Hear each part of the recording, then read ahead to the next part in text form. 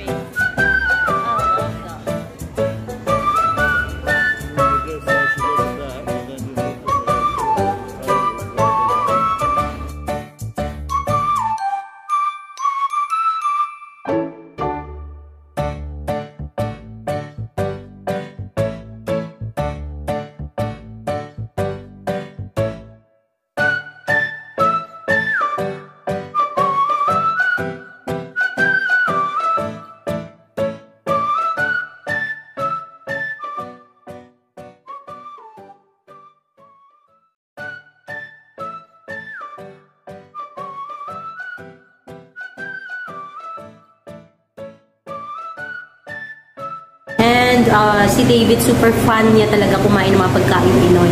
So, we finally found Carinderia, yung pang Pinoy talaga. And na-try niya dun guys yung sisig.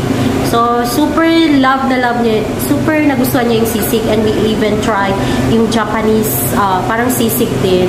Pero sabi niya sa akin, hindi sa Porque Filipina ako. Sabi niya is super simple yung mga uh, mga ingredients na ginagamit ng mga Pinoy pero super masarap. Unlike daw doon sa Japanese na na-try namin guys, marami silang mga nilalagay na pag makita mo is super, alam mo yung super bongga yung itsura. Kasi marami silang mga, maraming mga gulay na ilagay, colorful siya, tapos parang maano talaga siya. Pero kapag tikman mo, yung feeling daw na after mo kainin is busog ka na and ayaw mo na. Pero si David, yung try niya guys, yung sisi kain, sabi niya, parang nakikrave daw siya dun sa sisi. Na syempre, bida-bida, nag-search naman ako or nag-YouTube naman ako paano nilulutuin ng sisi. And, ayun, yun yung gagawin natin ngayon guys. Magluluto. Currently is, ayan, boiling na siya guys. So, naglagay na nga rin pala ako ng, um, naglagay ako ng rosemary leaves. Ewan ko kung pwede ba yun dito. Tapos, ano, sibuyas, tsaka bawang. Ewan ko. Kasi sabi ko, ikikip ko yung broth kasi sa 18 is, um, yung broth kasi sabi ko sa 18 is magluluto ako ng pansit dahil birthday nga ng kapatid ko guys. So, kahit malayo ako, magluluto lang ako ng pansit. And first time ni David din yun, mag-try ng pansit. Alam nyo, yun, nakakatuwa si David kasi super gustong-gusto niya yung mga niluluto ko. And hindi siya yung ah, kakain ako mag-isa kasi siya, ah, kahit anong yung niluluto ko, super, super parang okay rin siya na parang gusto niya i-try niya rin. At sasabihin niya sa akin kung gusto niya or hindi. Pero wala pa akong narinig na ayaw niya. ba Unlike ako, ayaw ko, ta pinatry niya sa akin yung Vegemite. Since mahilig sila sa mga tinapay, pinatry niya sa akin Vegemite, which is, hindi ko talaga siya kayang kainin. Sorry talaga. Pero, hindi ko talaga siya kaya, kayang kainin, guys. Iba yung lasa ko, iba yung sa panlasa ko. Parang, uh, ewan ko, hindi mo siya ma-explain, hindi mo ma-explain yung ma-explain yung lasa niya, pero sabi niya super, ano daw talaga yun, rich in vitamins talaga yung Vegemite. And hindi ko alam kung saan, pero parang vege, maybe from vegetables or anything, pero I'm not sure guys ha, huwag niyo ako i-judge. Yan siya guys, since dalawa lang naman kami ni David, yan lang yung piraso na inano ko. So, papatuyuin ko muna siya guys. Sabi kasi ni Irish dati na kapag i-deep fry ko to, kapag i-deep fry ko siya, mas maganda na ilagay mo muna siya doon sa sa freezer. Ilalagay mo siya sa freezer uh, sandali para para super mas maging crunchy siya. Mag-iiwan na ako guys. And wala akong ano, kulang. Kulang-kulang. Kulang-kulang tayo ng ingredients since gusto naman ni David is babawi na. So mag-iiwan na ako ng sibuyas, bawang. So meron ako dito. May sibuyas at bawang ako. Nag-iwan na ako guys ng sibuyas. Ayan. And nakakaiyak. Masakit sa mata. Ano ba to? Per nakaka-pressure kasi si David na try niya na kung ano talaga yung lasa ng ng sisig. Ah, sakit talaga sa mata guys. Nakakaiyak.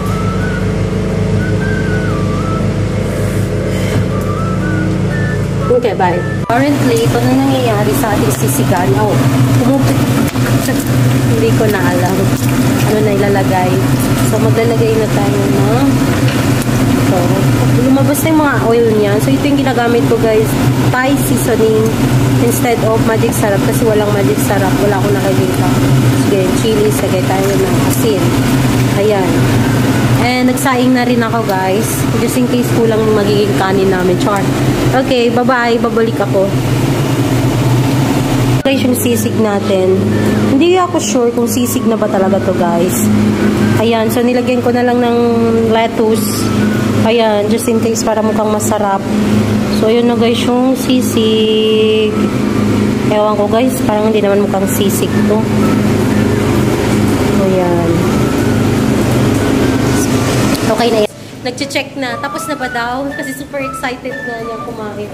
Pero, good luck.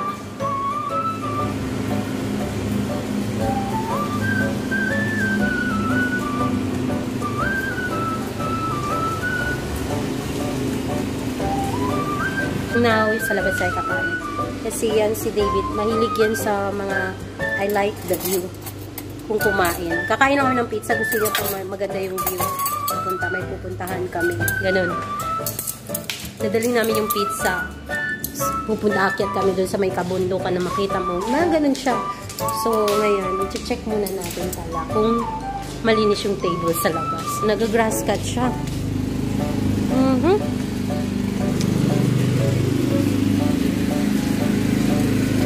Okay naman.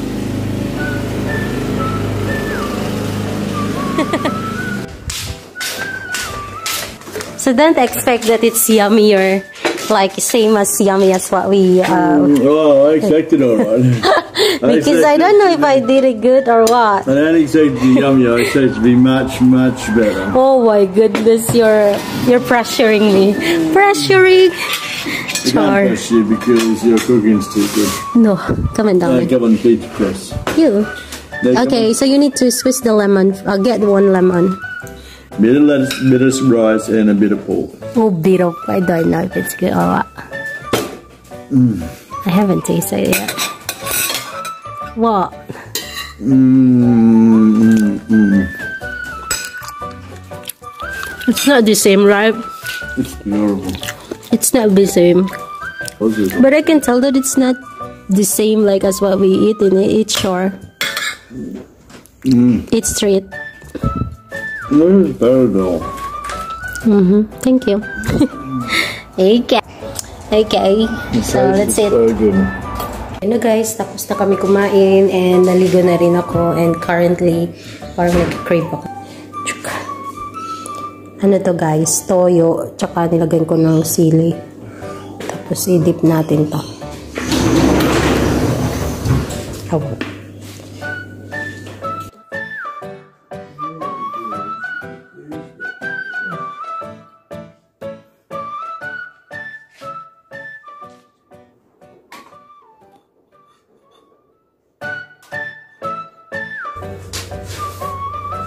So, itong painting, lalagay natin dyan.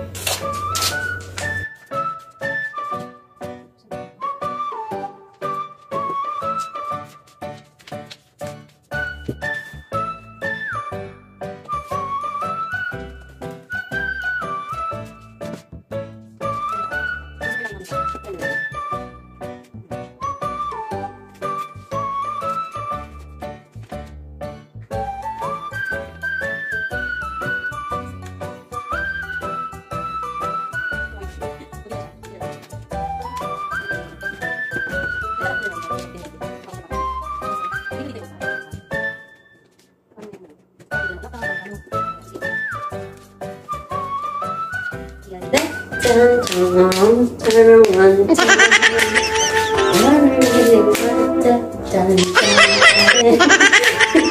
ba yung mga ganito si David? Ano sa bahay niya? Ayan. Mas siya sa mga. Okay. Cute nito guys. Ayan. So, ilalagay ko yan siya sa table.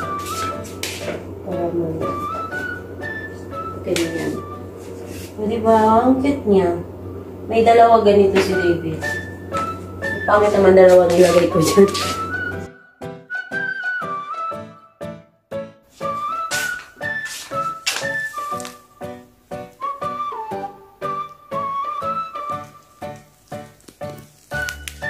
So, maglalagay pa ako ng photo frame dyan namin ni David. Ayan. So, ito na yung temporary table namin dito. Tcharan! Ang cute nito, guys.